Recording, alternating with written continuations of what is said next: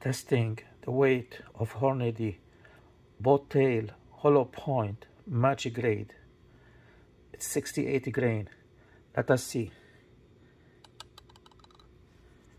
68 exactly let us try another one.